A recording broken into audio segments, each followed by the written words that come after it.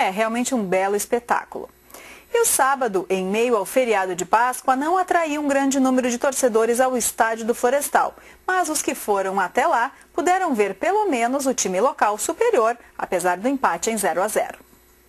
O empate deixa o Alviazul na quinta colocação nesta fase. O jogo ainda deixa prejuízos ao grupo com pelo menos três importantes desfalques.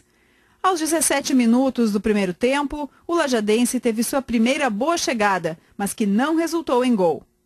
Em seguida, uma falta sofrida por Bruno provocou queda e luxação no braço, saindo de ambulância do estádio direto para o hospital. E quando a chance de abrir o placar apareceu, aos 30 minutos, com pênalti do zagueiro Ricardo, o goleador Lucas cobrou para fora para a decepção da torcida. O segundo tempo começou mal, com um gol legítimo do Alves anulado pela arbitragem por impedimento aos 7 minutos. Instantes depois, Roger evitou que Jean completasse para as redes a bela jogada individual de Piscinini. Em seguida, foi a vez de Beto deixar o jogo com séria lesão. Aos 31 minutos do segundo tempo, em conclusão de Piscinini e depois em cabeçada de Celcinho, o gol do Lajadense quase aconteceu. O Alve Azul continuava pressionando, mas aos 40 minutos perdeu grande oportunidade dentro da pequena área. O resultado ficou mesmo em 0 a 0. Na opinião do técnico Luiz Freire, a atuação do juiz foi decisiva para este placar. Principalmente no, no fato disciplinar. Eu acho que ele foi decisivo novamente. Né? O André, infelizmente, não dá sorte quando apita contra a gente.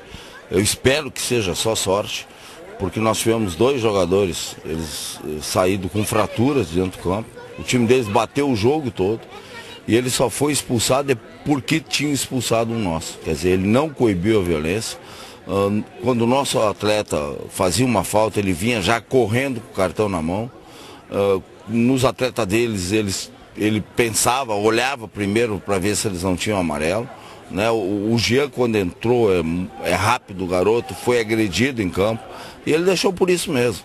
Infelizmente, se nós não tivermos arbitragem melhor, principalmente o nosso time que quer jogar futebol, nós vamos ter dificuldade na segunda fase. Fora isso, o time em si está tá bem, está bem preparado, tá tecnicamente bem, jogou bem hoje.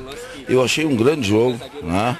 Nós, uh, a não ser os primeiros 5, 10 minutos, depois nós tomamos conta do jogo, jogamos meia linha, tivemos pênalti a nosso favor, que não fizemos, tivemos um lance incrível, duas chances vivas de gol no final do jogo.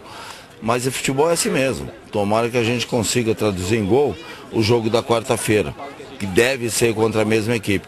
Então, importa isso, né? Acho que nós terminamos bem a competição e temos que fazer um grande jogo e aí começa a competição na quarta-feira.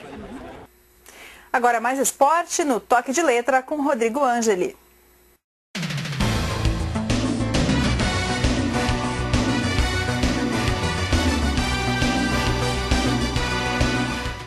Olá, pessoal.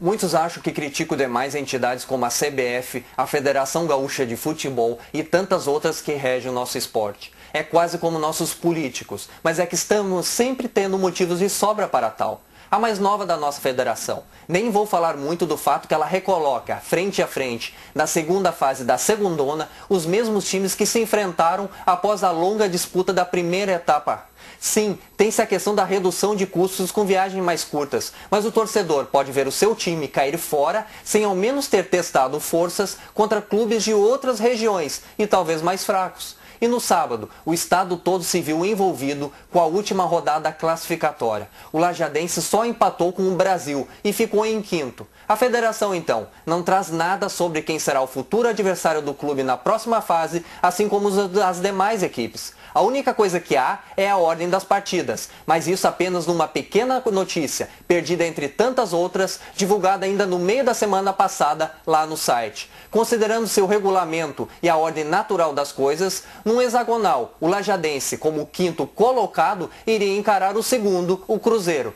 Pois não é que o adversário do Alve Azul será o líder Glória? Mudança ocorreu apenas por uma questão de tabelamento, já que todos jogarão contra todos em turno e retorno. Mas destaque para importante fato só será dado hoje, mais de 48 horas depois da rodada final. Vai entender. E o nosso time poupou por várias rodadas atletas importantes para dar descanso a eles e evitar problemas com lesões. Pois sábado, então na volta dos titulares, três importantes jogadores se tornam desfalques para o confronto com o Glória, quarta-feira no Florestal. Só uma perguntinha, os titulares não deveriam ter sido poupados justamente no sábado diante do Brasil? Até a próxima. Veja a seguir, começa a nova fase de vacinação contra a gripe A.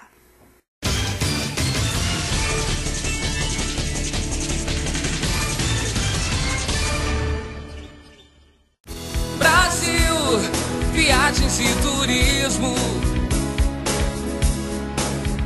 Brasil Viagens e Turismo. Dez anos de trabalho dedicados à realização dos seus sonhos. Para a mão, o mouse. Para o mouse, o clique. Para o clique, a informação. Para a informação, a tecnologia. Para a tecnologia, o suporte. Para ser por inteiro, Olicenter. A união entre a tecnologia e as pessoas. Por inteiro e para você.